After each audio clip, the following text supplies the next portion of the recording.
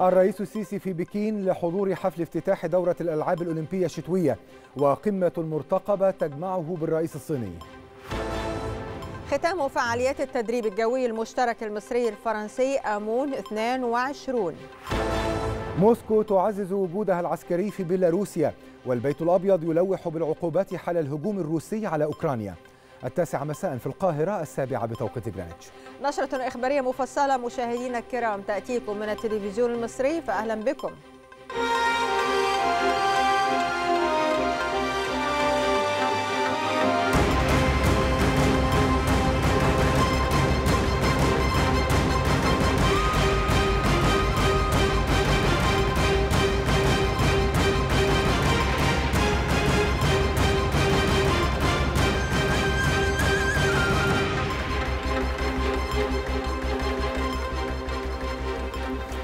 على مدى العقود الستة الماضية شهدت العلاقات المصرية الصينية تطورا مستمرا في المجالات كافة.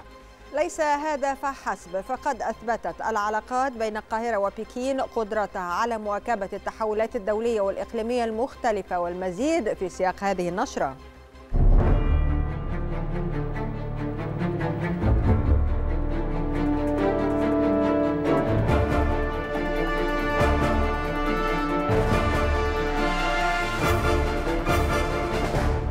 وصل الرئيس عبد الفتاح السيسي العاصمة الصينية بكين لحضور حفل افتتاح دورة الألعاب الأولمبية الشتوية الرابعة والعشرين. هذا وقد أوضح متحدث الرئاسة بأن مشاركة الرئيس عبد الفتاح السيسي في هذا الحدث الرياضي العالمي الضخم تأتي تلبية لدعوة الرئيس الصيني شي جين بينغ وذلك في ضوء العلاقات الوثيقة والاستراتيجية التي تربط مصر والصين. وأشار متحدث الرئاسة إلى أن برنامج زيارة الرئيس السيسي إلى الصين يتضمن أيضا عقد مباحثات قمة مع الرئيس الصيني شي جين بينغ وذلك لبحث سبل تعزيز التعاون والعلاقات الثنائية التي تشهد طفرة نوعية خلال الأعوام الأخيرة على المستويات كافة. بما يحقق المصالح المشتركة للدولتين والشعبين الصديقين فضلا عن مواصلة المشاورات والتنسيق المتبادل حول عدد من الملفات الإقليمية والدولية ذات الاهتمام المشترك. ومنذ تولي الرئيس عبد الفتاح السيسي مقاليد الحكم تشهد علاقات مصر مع الدول الكبرى تطورات إيجابية على مختلف الأصعدة. وتعد الصين من بين أهم القوى الكبرى التي ترتبط بمصر بعلاقات وثيقة وامتدت إلى مجالات مختلفة بدعم كبير من قيادتي البلدين.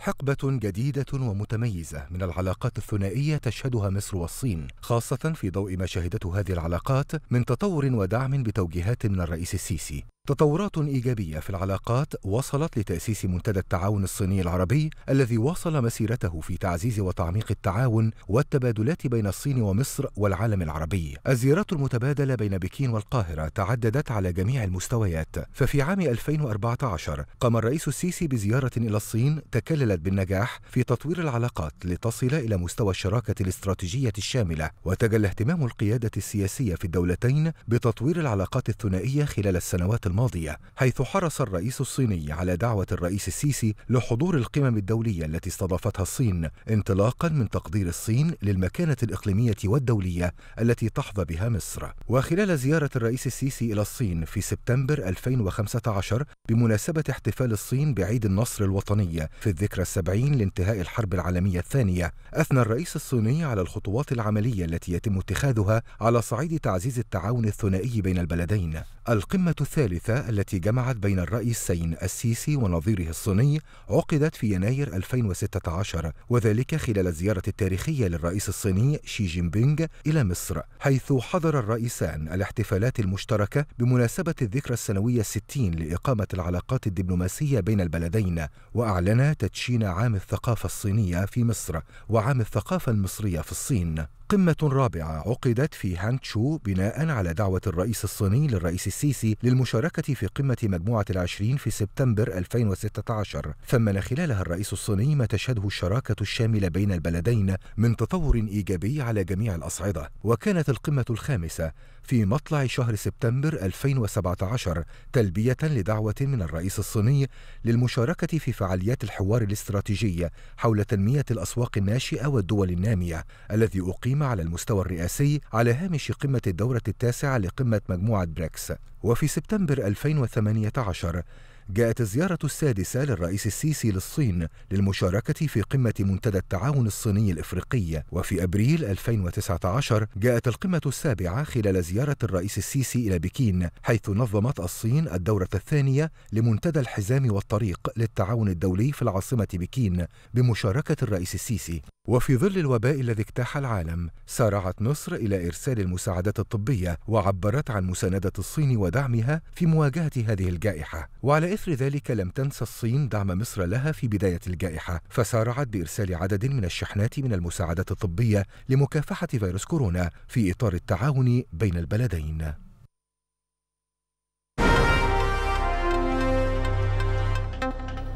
عقد رئيس مجلس الوزراء مصطفى مدبولي اجتماعا لمتابعة ملف الإيجارات القديمة بهدف الوصول إلى صيغة تعيد التوازن بين المالك والمستأجر.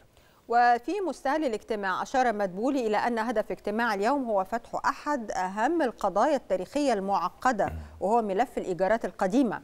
وفي هذا الصدد أكد مدبولي على ضرورة تحقيق التوازن بين أطراف العملية الإيجارية وذلك بهدف الوصول إلى صيغة عادلة وفي الوقت نفسه مراعاة البعد الاجتماعي. وقال مدبولي موجها حديثه لممثلي مجلسي النواب والشيوخ إن هذه القضية ليست قضية الحكومة وحدها ولكنها قضية رأي عام مؤكدا على ضرورة إيجاد حل لهذه المشكلة التاريخية. وخلال الاجتماع كلف رئيس الوزراء بتشكيل لجنة مشتركة من الجانبين بهدف العمل على صياغة مشروع قانون يتم طرحه أولا على الرأي العام يهدف إلى إجراء حوار مجتمعي بشأنه قبل إقراره من البرلمان.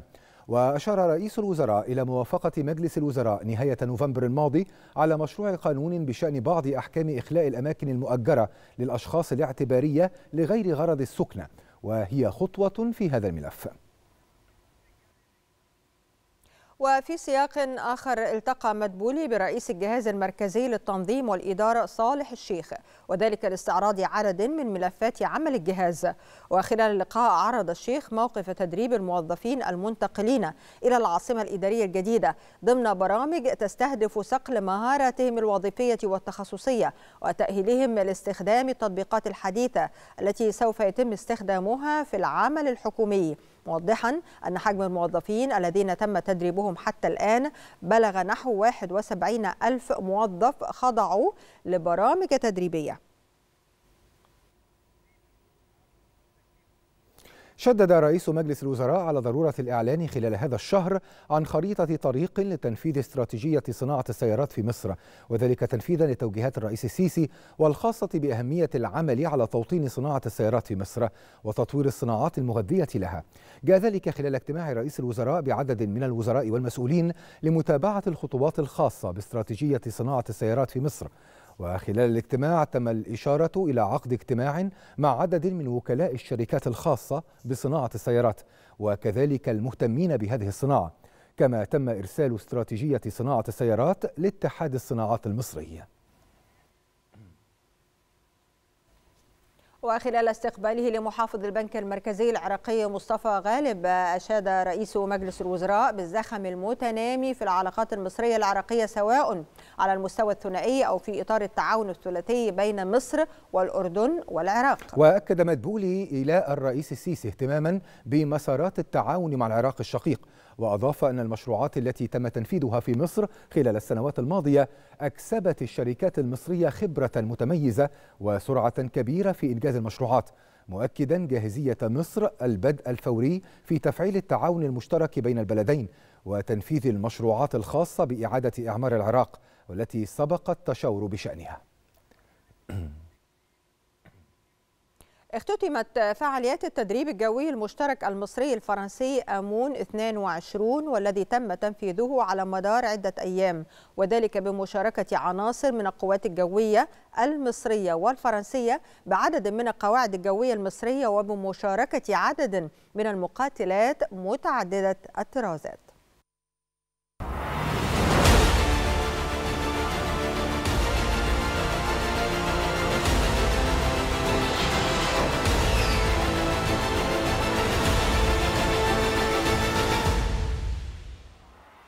اختتمت فعاليات التدريب الجوي المصري الفرنسي المشترك آمون 22 والذي تم تنفيذه على مدار عدة أيام بمشاركة عناصر من القوات الجوية المصرية والفرنسية بعدد من القواعد الجوية المصرية وبمشاركة عدد من المقاتلات متعددة الطرازات. واشتمل التدريب تنفيذ العديد من المحاضرات لتبادل الخبرات التدريبية والتكتيكية في التخطيط والتنفيذ وأساليب القيادة والسيطرة. فضلا عن تنفيذ العديد من الطلعات الجوية المشتركة لمجموعة من أحدث الطرازات للمقاتلات متعددة المهام.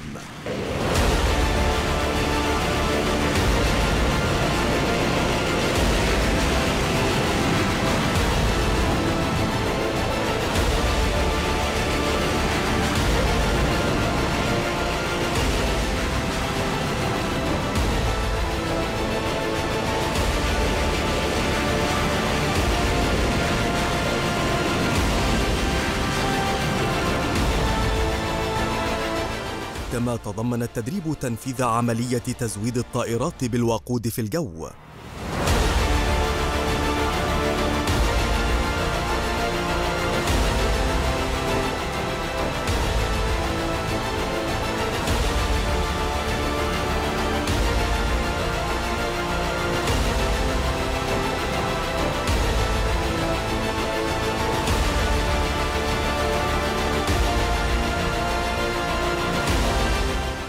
وتنفيذ أعمال الاعتراض الجوي لصد هجوم جوي معادي ضد أحد الأهداف الحيوية والتي عكست مدى ما وصلت إليه القوات من مستوى راق وقدرة عالية على إدارة العمليات الجوية المشتركة.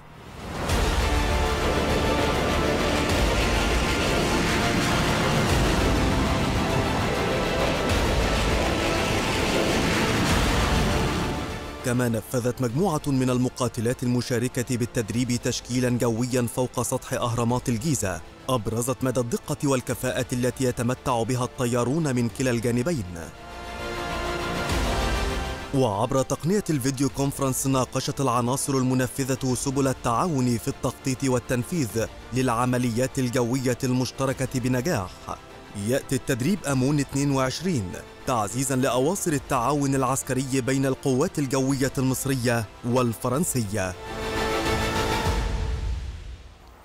نظم قطاع الحماية المجتمعية بوزارة الداخلية احتفالية لتسليم المفرج عنهم وأسر نزلاء مراكز الإصلاح والتأهيل مساعدات عينية ومشروعات صغيرة وذلك في إطار تطبيق منظومة السياسة العقابية الحديثة للتأهيل بما يساعدهم على الاندماج داخل المجتمع.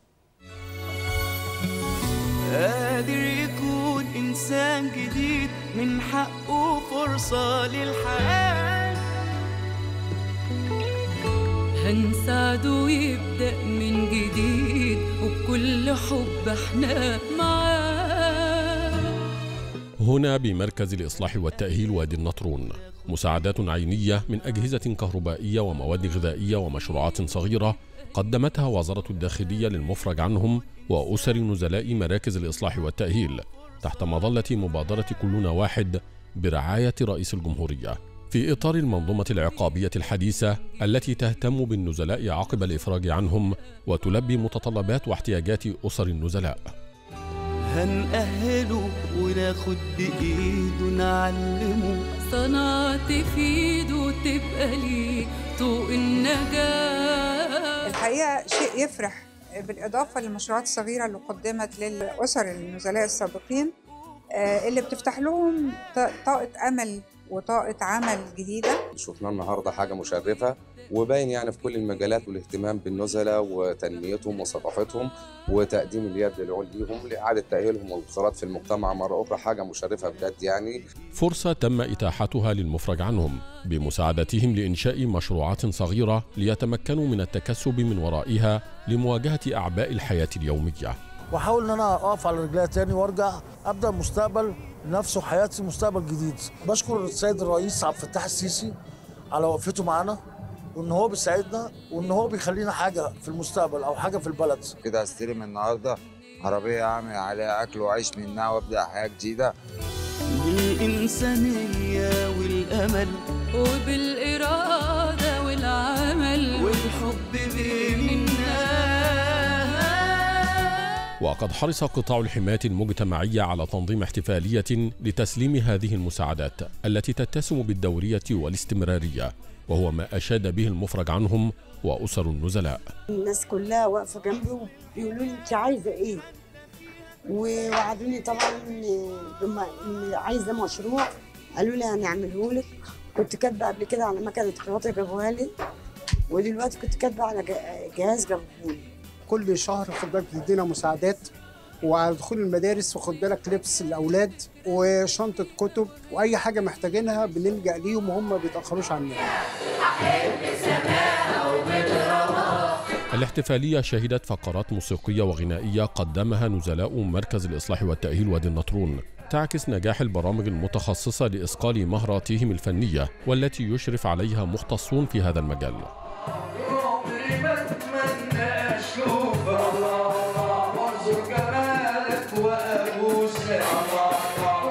كنت بمارس مهنة الإنشاد الديني وجيت هنا نمى معايا ال- ال- المهنة. بطلع كل يوم بعمل بروفات وفي دكتور بيجي لنا نستفاد برضه منه حاجة. وتحرص وزارة الداخلية على إتاحة فرص عمل للمفرج عنهم في المشروعات الزراعية والداجنة والحيوانية داخل مراكز الإصلاح والتأهيل ليتمكنوا من تلبية متطلباتهم الحياتية ومواصلة الحياة بصورة كريمة ما يساعدهم على الاندماج السريع في المجتمع. المنظومة العقابية الحديثة التي تطبقها وزارة الداخلية تعتمد على برامج إصلاحية متطورة أعدها خبراء ومختصون لإعداد وتأهيل النزلاء للانخراط في المجتمع. كذا تمتد الرعاية إلى المفرج عنهم وأسر النزلاء بتوفير احتياجاتهم ومسانداتهم لإقامة المشروعات وهو ما يتماشى مع الاستراتيجية الوطنية لحقوق الإنسان التي أطلقتها مصر مؤخرا. عبد الله بركات التلفزيون المصري.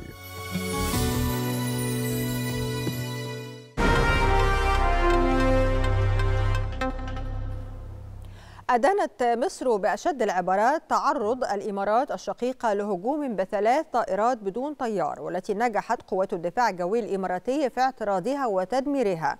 وفي بيان للخارجية أكدت مصر رفضها البالغ لتلك الانتهاكات الإرهابية التي تقوض ركائز الأمن والاستقرار في المنطقة العربية.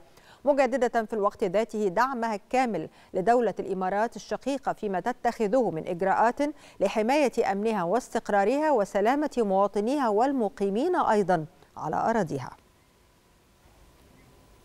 كما أدان البرلمان العربي هجوم قوات الحوثي بإطلاق ثلاث طائرات مسيرة باتجاه الإمارات. وفي بيان أكد البرلمان العربي أن هذه الاعتداءات الإرهابية المتكررة من قبل قوات الحوثي تمثل خرقا صارخا لميثاق الأمم المتحدة والقانون الدولي الإنساني والمواثيق والأعراف الدولية كما تمثل تهديدا لأمن واستقرار المنطقة. محذرا من تقاعس المجتمع الدولي عن اتخاذ مواقف رادعة وحاسمة ضد هذه القوات. وجدد البرلمان العربي دعمه وتضامنه التام مع الإمارات فيما تتخذه من إجراءات لضمان أمنها واستقرارها وسلامة مواطنيها والمقيمين فيها. أعلن التحالف العربي تدمير 11 آلية عسكرية لقوات الحوثي خلال العمليات العسكرية في محافظتي مأرب وحجة. وفي بيان ذكر التحالف أنه تم تنفيذ 14 عملية استهداف ضد قوات الحوثي في مأرب وحجة خلال ال 24 ساعة الماضية مما أسفر عن تكبيد قوات الحوثي خسائر بشرية كبيرة. أعلن العراق مقتل 30 إرهابيا في عمليات أمنية وضربات جوية خلال عشرة أيام والعمل على إنشاء خط صد ثان خلف الحدود لمنع التسلل نهائيا. وفي تصريحات صحفية قال معاون رئيس أركان الجيش للعمليات الفريق الركن قيس خلف قال إنه تم قتل أكثر من 30 إرهابيا خلال العشرة أيام الأخيرة مؤكدا أن العمليات ما زالت مستمرة.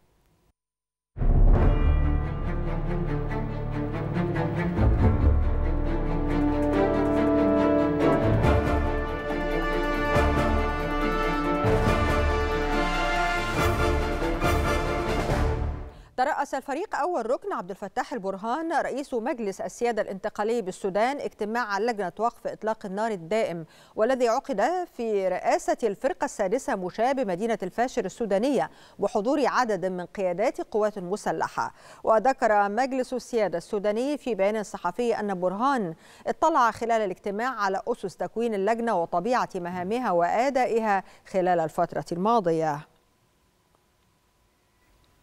في سياق آخر أكد البرهان متانة وأزلية العلاقات بين السودان وليبيا وحرص بلاده على تطويرها بما يحقق المصالح المشتركة لشعبي البلدين.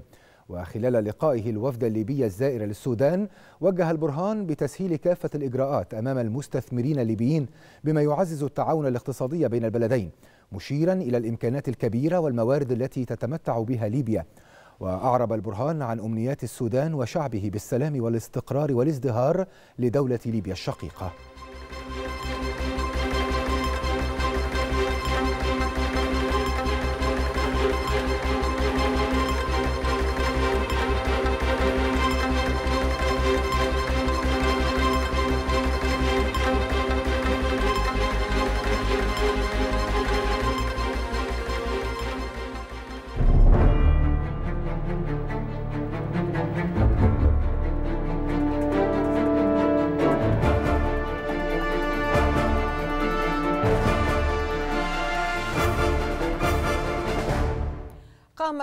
مصر بتجهيز معونة مساعدات عاجلة للبنان الشقيق تشتمل على 100 طن من المواد الإغاثية والغذائية و250 طن أيضا من المستلزمات الطبية. هذا وقد أشادت وزيرة التضامن الاجتماعي نيفين القباش بمشاركة منظمات المجتمع المدني في تجهيز المساعدات. كما أثنت على مجهودات المتطوعين من الهلال الأحمر المصري في إنهاء الإجراءات اللوجستية من تجهيز وتعبئة وتحميل وإرسال للمساعدات عن طريق البحر. أعلنت الرئاسة اللبنانية أنها توافقت مع رئيس الحكومة نجيب ميقاتي على عقد جلسة لمجلس الوزراء الخميس المقبل في قصر بعبدة. الجلسة تستهدف دراسة مسودة مشروع الموازنة العامة للدولة للعام الحالي بصيغتها النهائية والبت في البنود العالقة على أن يقوم فريق عمل وزارة المال بوضع اللمسات الأخيرة على المشروع بناء على مداولات جلسات مجلس الوزراء التي عقدت اليوم وخلال الأيام الماضية.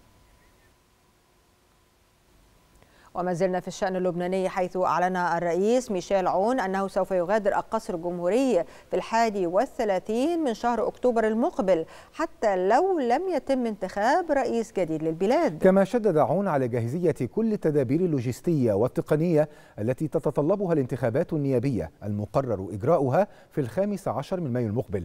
وأشار عون إلى أنه يتصرف على أساس أن يكون مستعدا لإجراء هذا الاستحقاق الديمقراطي في موعده كواجب وطني ودستوري إلا إذا استجد سبب قاهر يفرض التأجيل.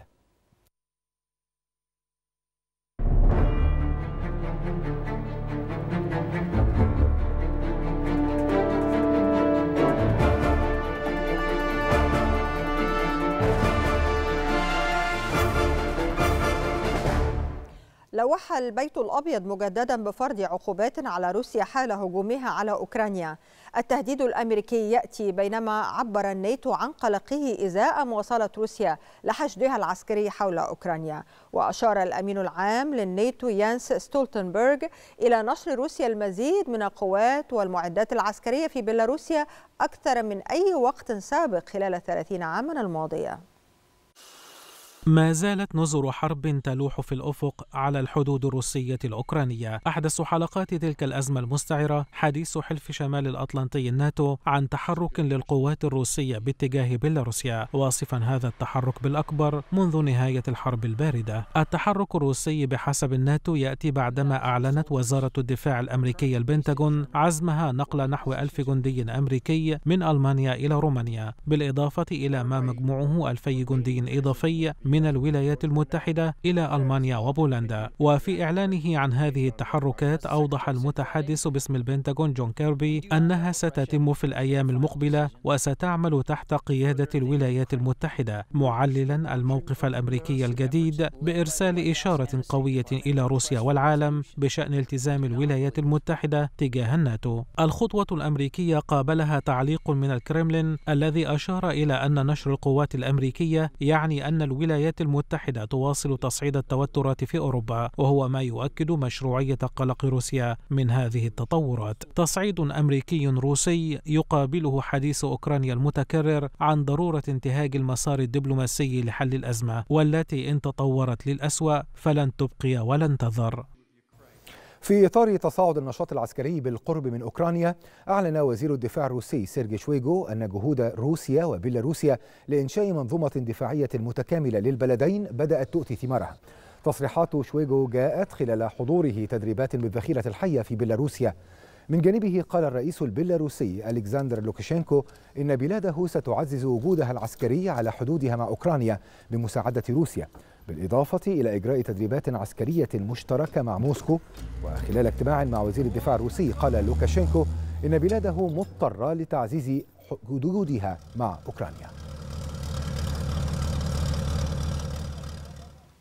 وبالتزامن مع التدريبات العسكرية بين روسيا وبيلاروسيا. أعلن الناتو إجراءه لمناورات في البحر الأبيض المتوسط والبحر الإدرياتيكي وإرساله طائرات أف مقاتلة من طراز أف إلى شمال أوروبا حيث أرسل طائرات اف 18 فوق دول البلطيق وبولندا ورومانيا ونزولا إلى البحر الأيوني أسفل اليونان.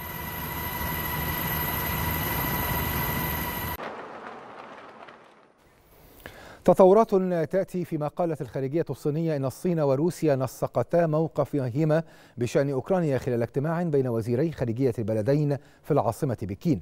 وفي بيان أعربت الصين عن تفهمها ودعمها لموقف روسيا بشأن الأمن فيما يتعلق بعلاقة موسكو بالولايات المتحدة وحلف شمال الأطلنطي الناتو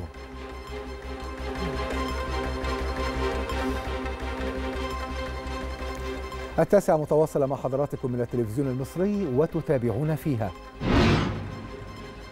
الصحة العالمية تعزز آمال القارة العجوز بفترة هدوء بعد معركتها ضد كورونا.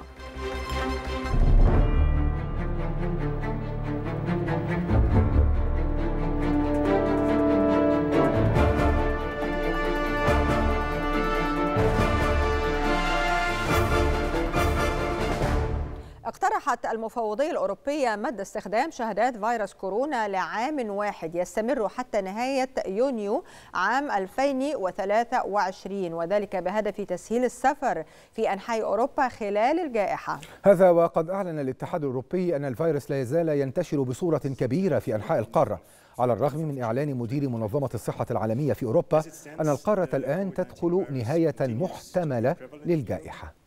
We also need to be ready for a possible increase. كانت منظمة الصحة العالمية قد أعلنت أن أوروبا قد تدخل قريبا في فترة هدوء طويلة بسبب معدلات التلقيح المرتفعة وانتشار المتحور أوميكرون الأقل خطورة واقتراب انتهاء فصل الشتاء. وفي تصريحات صحفية قال مدير الفرع الأوروبي من منظمة الصحة العالمية هانز كلوغ إنه يجب أن ينظر إلى فترة الحماية الأعلى هذه على أنها هدنة قد تجلب سلاما دائما.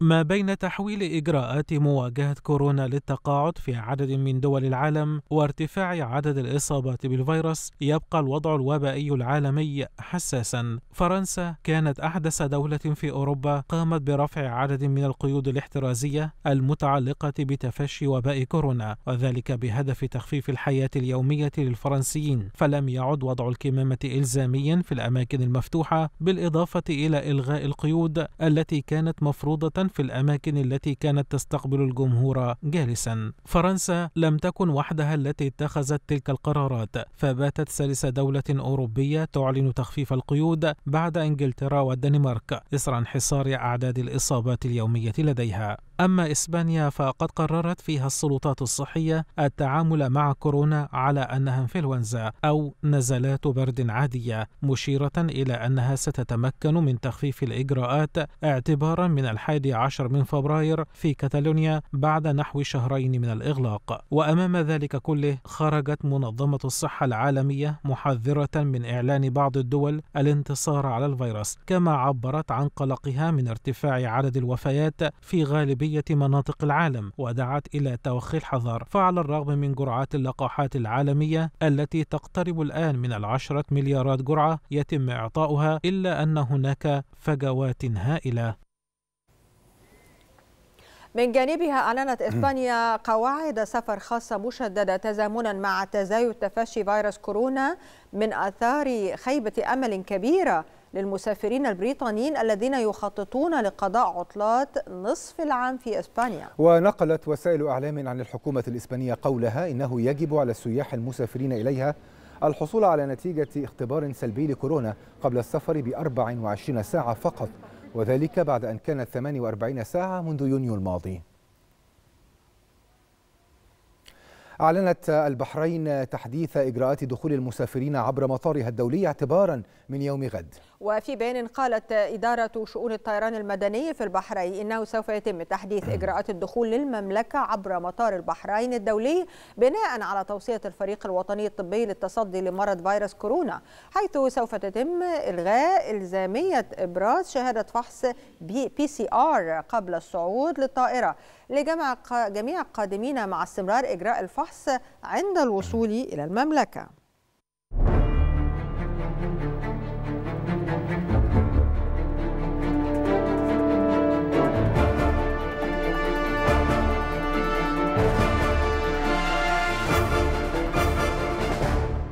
شهدت وزيرة التضامن الاجتماعي نيفين قباج احتفالية تسليم عدد 40 منزلا بعد إعادة إعمارها بقرية المنصورية مركز أدراو بأسوان في إطار تنفيذ أهداف المبادرة الرئاسية. حياة كريمة. وخلال زيارتها لأسوان سلمت الوزيرة مراكب صيد مزودة بأحدث أدوات الصيد والشباك كما تفقدت القافلة الطبية التي تم اعتمادها لتوقيع الكشف الطبي على العيون وإجراء العمليات الجراحية للحالات الحرجة وأثنت الوزير على الجهود التي تم بذلها من أجل إعادة إعمار المنازل.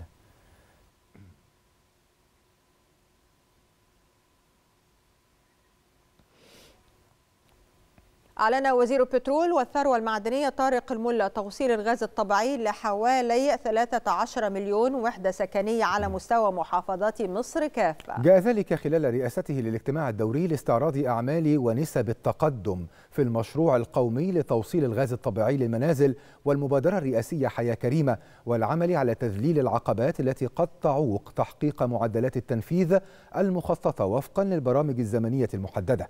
وأشار وزير البترول إلى أنه تم توصيل الغاز الطبيعي ل 98 قرية وجاري تنفيذ الشبكات الأرضية ل 100 قرية وتنفيذ أعمال المسح الميداني والرفع المساحي ل 142 قرية.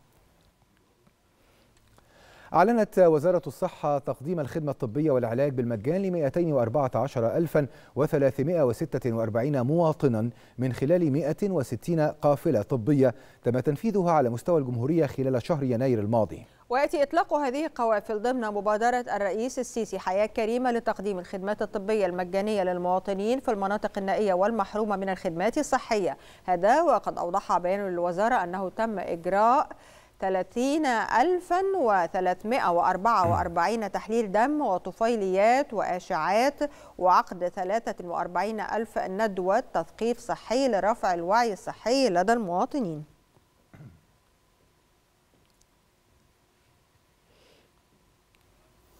تتواصل أعمال مشروعات المبادرة الرئاسية حياة كريمة بقرية قهبونة مركز الحسينية بمحافظة الشرقية. وفي إطار المتابعة الميدانية على بعض المشروعات تم المرور على مستشفى قهبونة والذي تخطت نسب الإنجاز به 50% بالإضافة لمجمع الخدمات الزراعية الذي وصلت نسبة الإنجاز به إلى 95% ومجمع الخدمات الحكومية والذي وصلت معدلات الإنجاز به إلى نحو 98% نظمت مديرية الصحة في بني سويف قافلة طبية إلى إحدى قرى مركز إهناسيا غربي المحافظة ضمن مبادرة حياة كريمة وذلك لتقديم كافة الخدمات للمواطنين داخل القرية. وقال وكيل وزارة الصحة في بني سويف محمد يوسف عبد الخالق إن القافلة وقعت الكشف الطبي على 1700 مواطن في عشر عيادات وتسعة تخصصات. للكشف على المواطنين وصرف العلاج وعمل الأشعات والتحاليل بالمجان وتحويل الحالات إلى المستشفيات لاستكمال العلاج. القافلة تضم تسع تخصصات طبية من خلال عشر عيادات متنقلة لتوقيع الكشف الطبي على أهالينا في مركز إهناسيا. بجانب استخراج قرارات العلاج على نفقة الدولة آه، الأشعة العادية والأشعة التلفزيونية آه، توقيع الكشف الطبي للاكتشاف المبكر لأمراض الضغط والسكر آه، تحويل الحالات آه، اللازمة لمستشفيات الأحالة آه، تم توقيع الكشف الطبي على 1700 متردد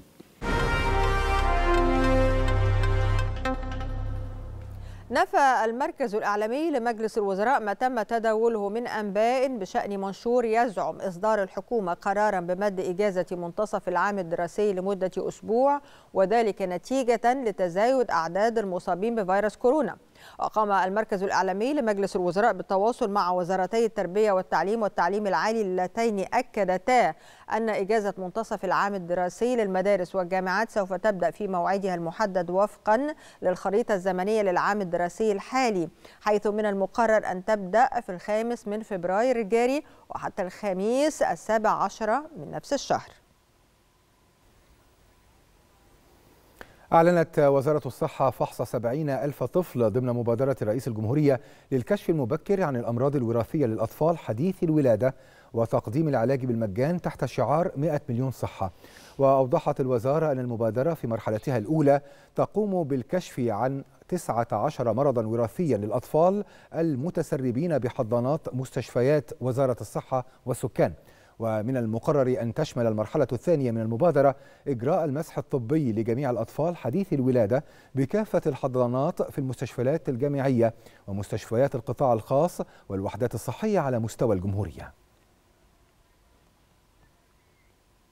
قالت رئيسة المجلس القومي لحقوق الإنسان السفيرة مشيرة خطاب قالت إن الاستراتيجية الوطنية لحقوق الإنسان رفعت سقف حقوق الإنسان وبرهنت على جدية الدولة المصرية في تعزيز مبادئ المحاسبة والمساءلة. جاء ذلك خلال لقائها بكريستوفر ليمون نائب مساعد وزير الخارجية الأمريكي للديمقراطية وحقوق الإنسان والعمل. وأضافت خطاب أن الاستراتيجية تحمل المزيد من الحقوق وتحمل أيضا الحكومة مزيد من المسؤوليات من خلال الالتزام بتنفيذ بنودها خلال الفترة المقبلة. مشيرة إلى قرار الرئيس عبد الفتاح السيسي بعدم تمديد حالة الطوارئ واستجابة الحكومة لمطالب المجلس بتمديد مهلة توفيق أوضاع الجمعيات والمؤسسات الأهلية لعام آخر. من جهته أوضح مسؤول الخارجية الأمريكية رغبته في مناقشة رؤية المجلس بشأن كيفية المضي قدما في تنفيذ الاستراتيجية الوطنية لحقوق الإنسان والتعرف على المجالات ذات الأولوية. أطلقت وزارة الأوقاف مشروع قوافل صكوك الأطعام من خلال البدء ب 400 طن على أن يتم توزيع 100 طن من اللحوم شهريا على 100 ألف أسرة اعتبارا من شهر فبراير الجاري وبسعر 300 جنيه لصك الطعام. يأتي هذا المشروع في إطار عدد من المشروعات التي أطلقتها وزارة الأوقاف والتي تخص قوافل صكوك الإطعام وذلك لتوفير أكبر قدر ممكن من الطعام للفقراء والمحتاجين في عدد من المحافظات. أنا بعتبر ده واحد من أهم المشروعات الاجتماعية اللي بتنفذها وزارة الأوقاف. وحضراتكم حضراتكم تابعتوا معانا النجاح الكبير لمشروع صكوك الأضاحي. ده شجعنا إن ننطلق في صكوك الإطعام. وبنأكد إن ده بقى مستمر على مدار العام. البداية النهارده بدأنا مع السادة المحافظين مع وزارة التضامن ندقق قاعدة بيانات بالمستهدفين الحقيقيين الاولى بالرعاية بالفعل. المستهدف أن نصل للأسرة في المرحلة الأولى مرة كل شهر بدل أن كنا نصل لهم مرة في العام في صكوك الأضاحي يبقى التوزيع على مدار العام. نستهدف في المرحلة اللاحقة أن نصل إليهم كل أسبوعين ويمكن أن نصل إليهم إن شاء الله في المستقبل كل أسبوع. كما أكدنا البداية بمئة ألف أسرة النهاردة في خمسة طن لمحافظتي القاهرة والجيزة. غدا ثلاثة طن لثلاثة ألاف أسرة بمحافظة الدقهلية ويستمر التوزيع بواقع 25 طن كل أسبوع بواقع 100 طن كل شهر. أعلنت وزارة الصحة أن المعهد القومي للكلى والمسالك يقدم خدمته لأكثر من 70 ألف مريض سنويا من خلال العيادات الخارجية. وخلال المؤتمر السنوي للمعهد القومي للكلى والمسالك أكدت وزارة الصحة أنه يجري نحو 50 ألف جلسة غسيل كلوي سنويا إلى جانب تقديم الخدمات الطبية المختلفة.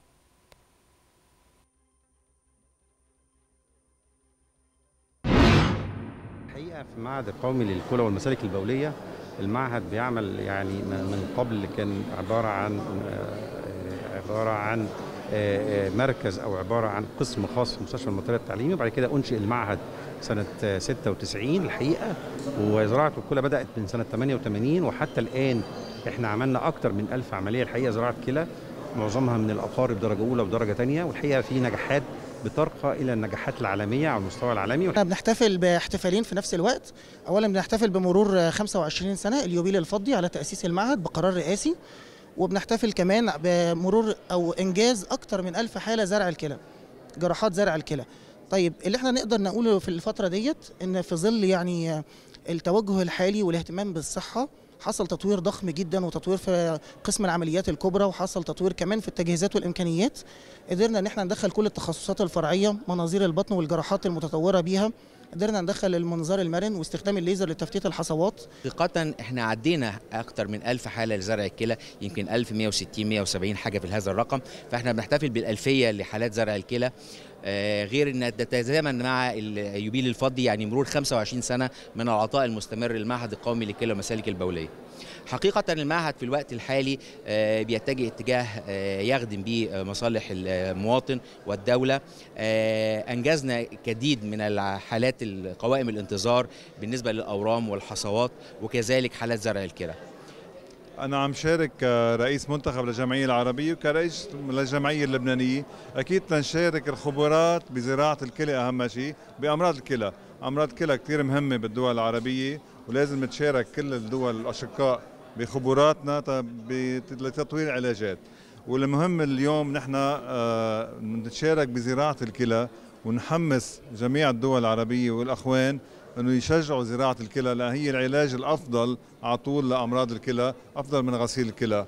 بقى رح نتشارك هاليومين كل خبراتنا بكل البلدان العربية. المعهد القومي طبعا منذ انشائه هو صرح كبير مهتم بعلاج أمراض الكلى والمسالك البولية وزراعه الكلى وجراحات المسالك البولية كلها. المعهد طبعا شهد تطور كبير على مدار السنوات الماضية والحقيقة في مخططات أخرى للتطوير أكثر وأكثر إنشاء أفرع جديدة للمعهد واحد في منطقة كورنيش النيل عند امبابة في الأرض التابعة للهيئة العامة للشؤون التعليمية وفرع آخر ضمن المدينة الطبية اللي موجودة أو المزمع إن شاء الله إنشائها في شرق القاهرة برضو تابعة للهيئة العامة للشؤون التعليمية. تتواصل فعاليات معرض القاهرة الدولي للكتاب في دورته الثالثة والخمسين. ويتضمن المعرض عددا من الفعاليات والندوات الفنية والثقافية فيما له صلة سلمت وزيرة الثقافة إيناس عبد الدايم جوائز الدورة الثالثة والخمسين لمعرض القاهرة الدولي للكتاب. موجهة الشكر للرئيس عبد الفتاح السيسي لرعايته المعرض وإيمانه بأهمية الثقافة والفن في تعميق الوعي المجتمعي بقضايا الوطن. وخلال تسليمها الجوائز أكدت عبد الدايم أن المعرض يجسد الحراك التنويرية ويعكس الرغبة الجادة في تلقي المعرفة. ووجهت التهنئة للفائزين بجوائز هذه الدورة التي عبرت عن توهج الثقافة المصرية بما يؤصل لأهمية وقيمة القوى الناعمة في تشكيل الوعي المصري. للأسبوع الثاني على التوالي يستقبل معرض الكتاب في نسخته الثالثة والخمسين الزوار ليشهد زخما فكريا كبيرا يجمع بين القراءة والندوات التثقيفية والندوات التي تشمل جميع مناحي الثقافة والفنون. المعرض جميل حلو الأنشطة اللي فيه كلها متنوعة سواء أطفال سواء كبار سواء الأدب نفسه أو الثقافات اللي موجودة متنوعة وطبعا ضيف الشرف السنة دي اليونان معانا. فجناحهم حتى مميزين تنظيم فوق الرائع والمعرض فوق الرائع والمعرض قوي يعني. المعرض من المعارض في الوطن العربي قوية جدا وما ينفعش تتفوت يعني. فرصة لكل ناشر ولكل مكتبة عربية معرض القاهرة. بيفيدني كتير. يعني بيزودني بحاجات كتير. بشوف ناس جديدة بتعرف على كتب جديدة بتنزل وبشوف أساليب جديدة في الكتابة. ويتميز المعرض هذه الدورة بمبادرات فريدة مثل ثقافتك كتابك التي لاقت رواجا وسط الحضور حيث تصدرت المبيعات بخمسة وستين ألف نسخة. المختلف اللي هو بسم الله ما شاء الله بنحس إن في عناوين بتزيد أصلا ودور النشر بسم الله ما شاء الله كل سنة في جديد. وبصراحة يعني باهرين الناس كلها بالأسعار الأسعار جميلة جدا وحاجة فوق الوصف بصراحة وحاجة مش شريفة والله فعلا يعني. لا أنا والله جيت هنا كذا مرة من زمان بتاع أربع خمس سنين وراي فيه انه حلو كو- كويس جدا وفيه معلومات كتير جدا ممكن نكسبها. أنا جيت هنا من زمان جيت مرتين ثلاثة ودي ممكن رابع مرة وإن التنظيم حلو وإن هم عاملين ركن لكل حاجة معينة. فرحانة إن في حاجة زي كده عشان تشجعنا كلنا إن إحنا نقرأ ونثقف نفسنا وبالذات إن ما شاء الله في شباب كتير. ده معناه إن كلنا بدأنا نداول الكتب ونبدلها مع بعض. وممكن طبعا نيجي إحنا وأصحابنا ونبدل كتب لما يتخلصوا وأنا أخلصها فحاجه كويسة يعني. آه لا هو بصراحة جميل جدا و...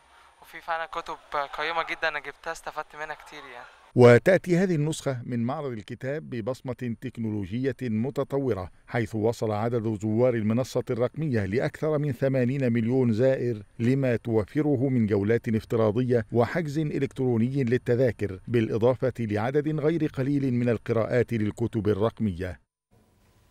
وعودة مشاهدينا الكرام إلى الخبر الأبرز في هذه النشرة حيث وصل الرئيس عبد الفتاح السيسي إلى العاصمة الصينية بكين لحضور حفل افتتاح دورة الألعاب الأولمبية الشتوية الرابعة والعشرين. وأوضح متحدث الرئاسة بأن مشاركة الرئيس السيسي في هذا الحدث الرياضي العالمي الضخم تأتي تلبية لدعوة الرئيس الصيني شي جين بينغ وذلك في ضوء العلاقات الوثيقة والاستراتيجية التي تربط مصر والصين.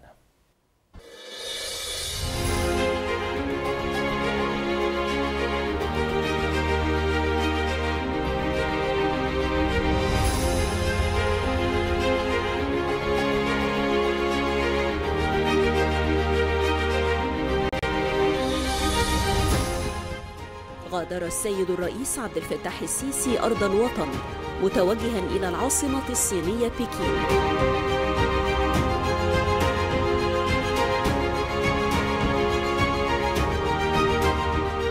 للمشاركة في حفل افتتاح الألعاب الأولمبية الشتوية في بكين تلبية لدعوة الرئيس الصيني شي جين بينغ مع عدد كبير من زعماء العالم.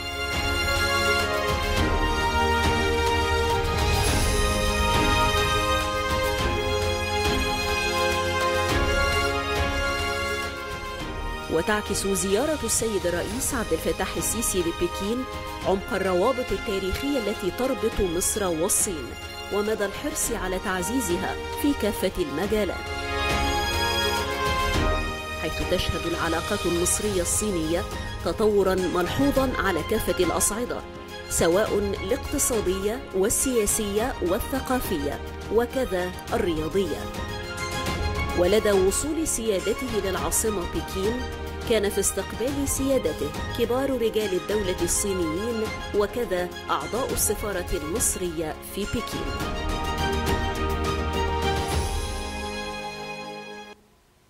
افتتح محافظ جنوب سيناء خالد فودة ثلاثة فصول ذكية بوادي مندر التابع لمدينة شرم الشيخ وتضم الفصول الذكية أحدث التقنيات التي تساعد على التعليم بالطرق العلمية الحديثة. وأيضا تنمية المهارات لدى الطلاب حيث تتسع لنحو 40 طالبا وطالبة. كما تابع أيضا محافظ جنوب سيناء الأعمال الجارية لتطوير مدينة دهب والتي تبلغ تكلفتها الإجمالية نحو 50 مليون جنيه شاملة البنية الأساسية وأيضا تطوير الميادين. في إحدى قرى محافظة جنوب سيناء قرية وادي مندر في الحقيقة الفكرة نشأت لما كنت بعدي على المدارس وأشوف إن مفيش تعليم للبنات بعد سنة ستة. مفيش بالبدويات بعد داخل الوديان مفيش تعليم ليهم لأن هم الفصول اللي موجودة والمدارس اللي موجودة هناك بتدرس حتى سنة ستة. طب اللي بيكمل إعدادي بيتنقل المدينة يروح يدرس في المدينة إعدادي.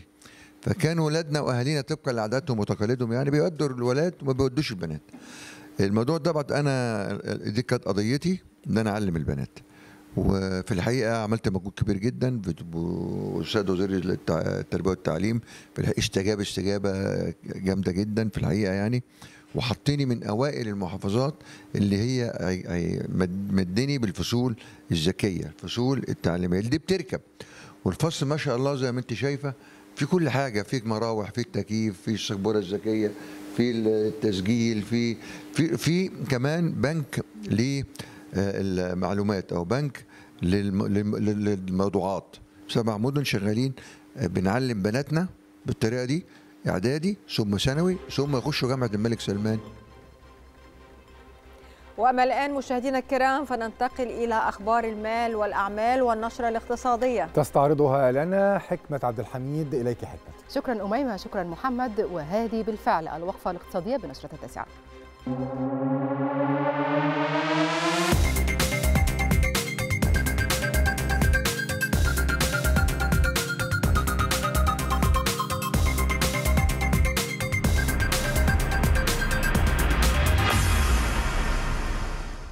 أكدت وكالة موديز للتصنيف الائتماني أن قوة الأداء المالي والنمو الاقتصادي يدفعان البنوك المصرية نحو نظرة مستقبلية مستقرة.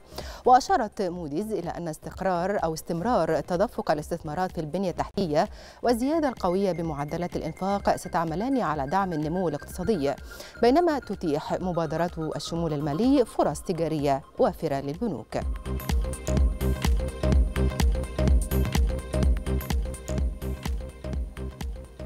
أعلنت وزارة التعاون الدولي تفاصيل التمويل التنموي الميسر الذي حصلت عليه مختلف قطاعات الدولة والقطاع الخاص خلال العام الماضي 2021 بقيمة 10.2 مليار دولار من شركاء التنمية متعدد الأطراف والثنائيين ومؤسسات التمويل الدولية. وذلك بواقع 8.7 مليار دولار لقطاعات الدولة المختلفة و1.56 مليار دولار للقطاع الخاص.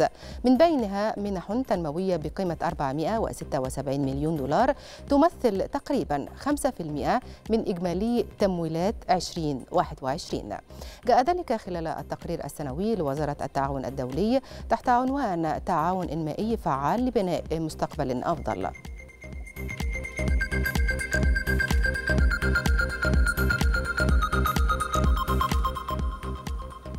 أنهت البورصة المصرية تعاملات جلسة اليوم نهاية جلسات الأسبوع بتراجع جماعي للمؤشرات ذلك بعد صعود دام ثلاث جلسات متتالية وسط أحجام تداول منخفضة. وخسر رأس المال السوقي 2 مليار جنيه ليغلق عند مستوى 749.914 مليار جنيه. أما على صعيد المؤشرات فقد تراجع مؤشر إي جي إكس 30 بنسبة 46 من 100% ليغلق عند مستوى 11 1638 نقطة. انخفض مؤشر الشركات الصغيرة والمتوسطة إي جي إكس 70 متساوي الأوزان بنسبة 5 من 100% ليغلق بذلك عند مستوى 2163 نقطة. هبط مؤشر إي جي إكس 100 متساوي الأوزان بنسبة 18 من 100% ليغلق عند مستوى 3193 نقطة. نتحول إلى أسواق البترول العالمية حيث انخفضت العقود الآجلة لخام برنت تسليم أبريل بنسبة 45 من 100% إلى 89.7 من 100 دولار للبرميل. هبطت العقود الآجلة للخام الأمريكي بنسبة 57 من 100% عند 87.76 دولار. أكدت وزيرة المالية التونسية سهام بوغديري على أن الدولة بصدد تسديد قروضها والوفاء بجميع تعهداتها ونفقاتها بشكل طبيعي. موضحة أن الدولة ليست مهددة بالإفلاس. وأكدت وزيرة المالية التونسية أن الدولة المفلسة هي التي تكون غير قادرة على سداد ديونها مؤكدة أن ما تم ترويجه بخصوص اللجوء لمدخرات التونسيين لدى البريد التونسي لصرف الأجور لا أساس له. من الصحة.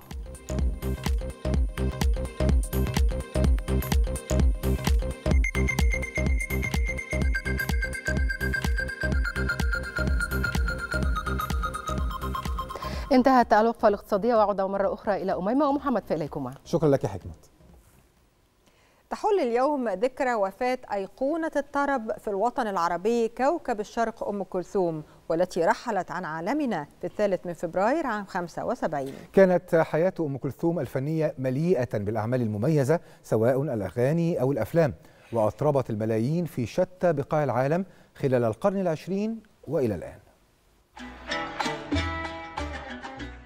صوت عذب ملأ الدنيا بحالة من الشجن سيطرت بصوتها على قلوب وعقول كل من سمعها وأصبحت على مر الأجيال والعصور صوت كل حال محب إنها سيدة الغناء العربي كوكب الشرق أم كلثوم.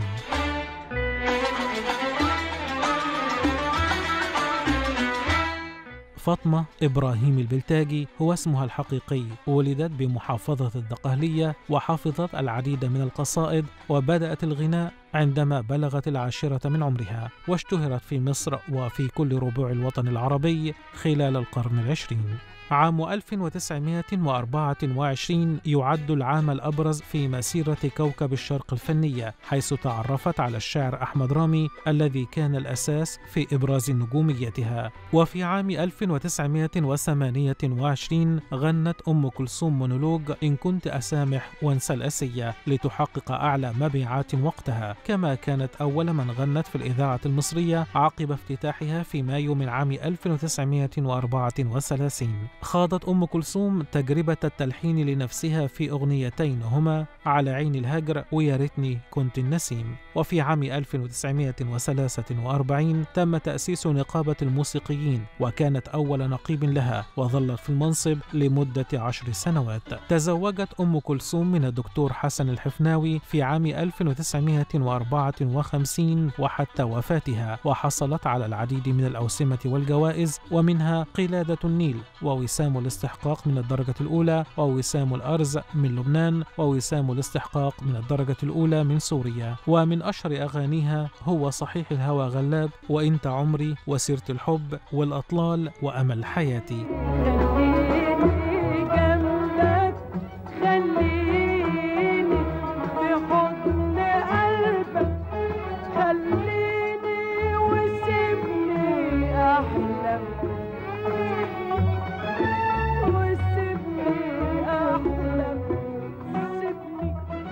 كما خاضت تجربة التمثيل في ستة أفلام منها وداد ونشيد الأمل. عانت كوكب الشرق أم كلثوم من رحلة علاج قاسية لمرضها بالغدة الدرقية حتى انقطعت عن تقديم الحفلات في عام 1971 وكانت أغنية ليلة حب آخر ما غنت به إلى أن توفيت في الثالث من فبراير من عام 1975 لتغيب عن عالمنا. ولكنها ما زالت حاضرة بأعمالها الفنية الرائعة.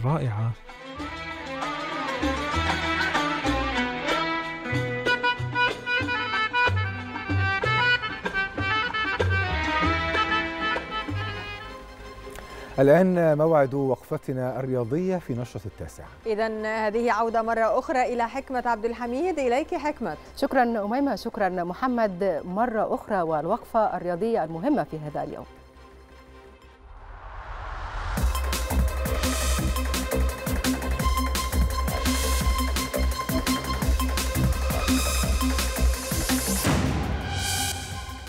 يلتقي المنتخب الوطني الآن مع نظيره الكاميروني في الدور نصف النهائي لبطولة كأس الأمم الإفريقية.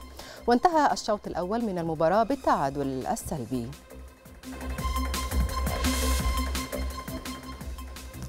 تعرض لاعب وسط الأهلي عمار حمدي لإصابة في الركبة أثناء المشاركة في التقسيمة خلال المران الجماعي للفريق استعدادا لمواجهة مونتير المكسيكي في بداية المشوار مشوار الفريق بكأس العالم للأندية يوم السبت المقبل. وغادر عمار المران بصحبة طبيب الفريق لأحد المستشفيات القريبة للخضوع لأشعة رنين على الركبة. تأهل الجزيرة الإماراتي إلى الدور الثاني لبطولة كأس العالم للأندية بعد فوزه على براي التاهيتي بأربعة أهداف مقابل هدف في الدور الأول من المسابقة. بهذا الفوز ضرب الجزيرة الإماراتي موعدا مع الهلال السعودي في الدور الثاني يوم الأحد المقبل.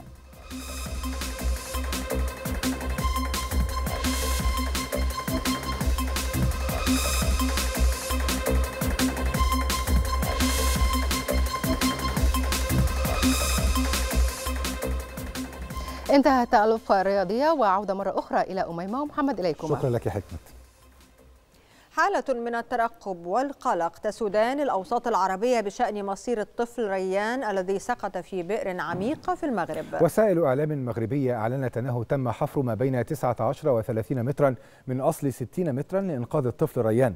ووفقا لوسائل إعلام مغربية تبحث السلطات المحلية عن الطفل منذ الساعات الأولى من صباح الأربعاء.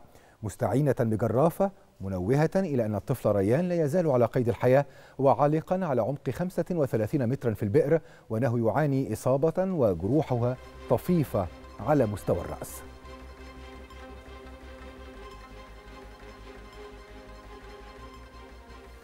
والآن إلى وقفتنا الخاصة بحالة الطقس وتوقعات خبراء الأرصاد الجوية. مع حكمة عبد الحميد مرة أخرى.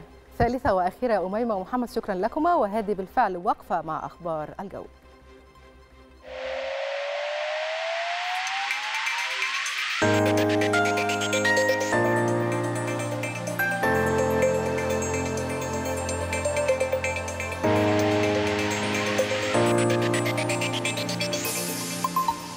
بيتوقع خبراء هيئة الأرصاد الجوية أن يسود غدا الجمعة طقس بارد نهارا على القاهرة الكبرى والوجه البحري والسواحل الشمالية الغربية مائل للبرودة على السواحل الشمالية الشرقية وشمال الصعيد معتدل على جنوب سيناء وجنوب الصعيد أيضا. بينما يسود ليلا طقس شديد البرودة على كافة الأنحاء بيصل إلى حد الصقيع على وسط سيناء وشمال الصعيد. وهذه درجات الحرارة المتوقعة بإذن الله على بعض المدن والمحافظات. بنبدأ بالقاهرة 16 10 الإسكندرية 16 11 بورسعيد 18 11 الإسماعيلية 16 10 السويس 16 10 العريش 18 11 طابة 15 11 شرم الشيخ 20 14 الغردقة 21 13 الأقصر 18 9 أما أسوان فهي درجة الحرارة هناك 20 10 الوادي الجديد 19 6 شلاتين 24 12 حلايب 21 13 الآن بنستعرض مع حضراتكم درجات الحرارة المتوقعة غدا في عدد من العواصم والمدن العربية والعالمية.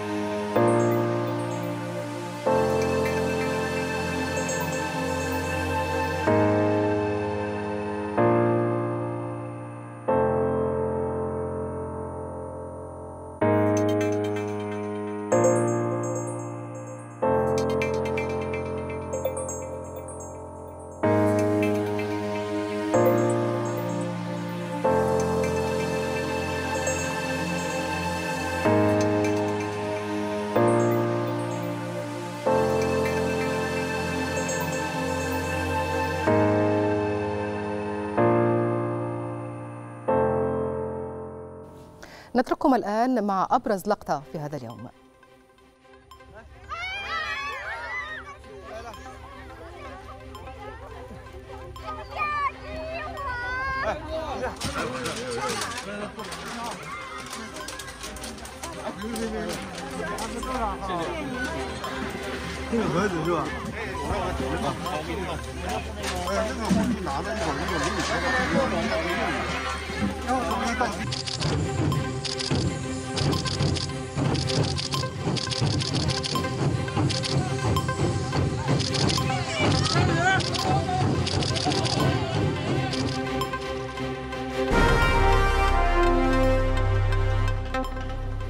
بلقطة اليوم نصل لختام نشرة التاسعة بقي نذكركم بأبرز عناوينها.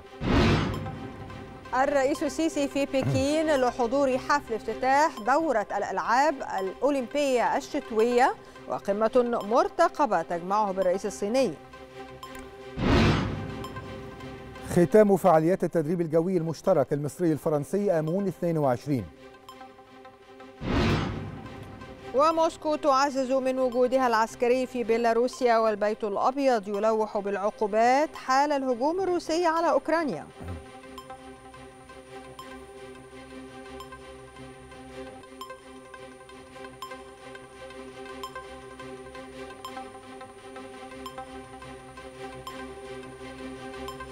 إذا مشاهدينا الكرام انتهت أخبار التاسعة والآن ندعوكم لمتابعة الإعلامية شفكي المنيري في برنامج التاسعة. مساء الخير. يا أميمة بابتسامتك الحلوة دي. خلينا نتفائل. مساء الخير يا عبدو. يا رب يكون يوم جميل على المصريين. نتمنى. جميعا. إن شاء الله. نتمنى أكيد حلقة موفقة إن شاء الله. متابعة أكيد هتتابعي المباراة على مدار الحلقة وإن شاء الله يا رب النصر هو, المصري هو أنا الحقيقة على أعصابي والشوط كلنا على الثاني. بدأ وكلنا على أعصابنا. يا رب خير بإذن الله. بشكركم أتمنى لكم دايما التوفيق ولكل صناع نشرة التاسعة. مشاهدينا الكرام نستأذنكم نبدأ فقرات التاسعة يوم الخميس. تفضلوا.